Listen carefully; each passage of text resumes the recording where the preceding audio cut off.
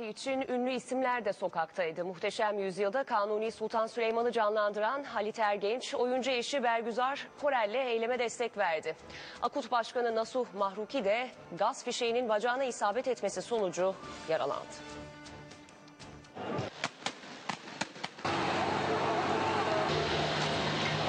Gezi Parkı için ünlüler de çıktı Taksim'e. Kimse e, bir şiddet uygulamıyor. Hiç kimse bir e, zor kullanmıyor. Fakat bir şekilde kimsenin sözü de dinlenmiyor.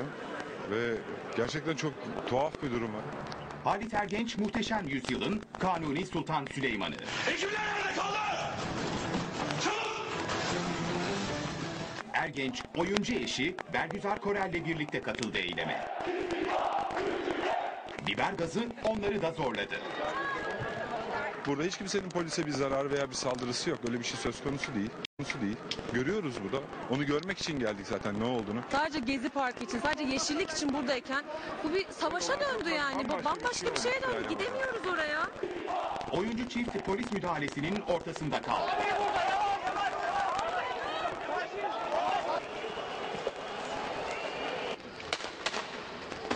Akut Başkanı Nasuh Mahruki de eğlenciler arasındaydı.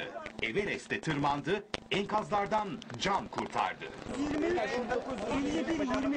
Ama bu kez ayağına gelen gaz fişeği yüzünden zor anlar yaşadı